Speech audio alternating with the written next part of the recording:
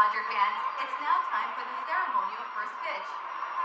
Taking the mound tonight, please welcome retired U.S. Army Staff Sergeant Patrick Ziegler. Staff Sergeant Ziegler grew up with his parents serving in the military and continued the tradition by enlisting in the Army in 2005. In 2009, while attending Officers Candidate School in Fort Hood, Texas, he was one of more than 30 individuals injured in the Fort. Following the tragedy, Ziegler authored a memoir titled Both Ends of the Barrel, which shares his brave journey in service to our country. Today, Patrick is also here celebrating his birthday. Happy birthday, Patrick! Retired Army Staff Sergeant Patrick Ziegler, the mound is yours. And catching for him is pitcher Bobby Miller.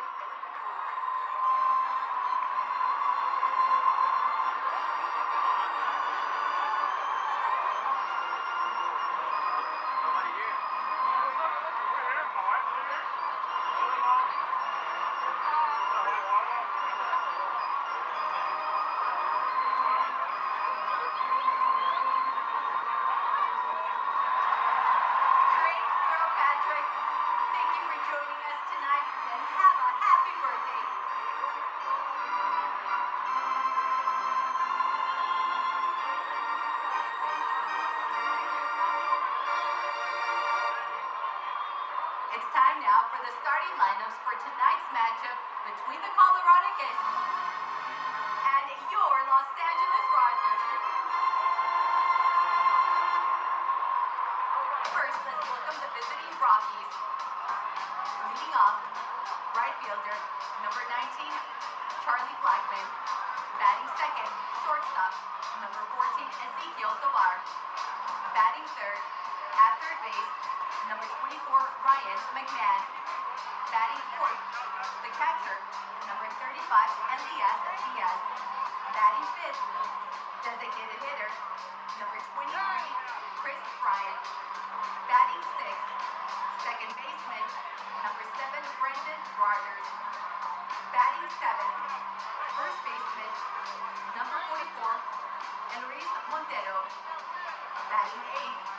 In center field, number nine, Brenton Doyle.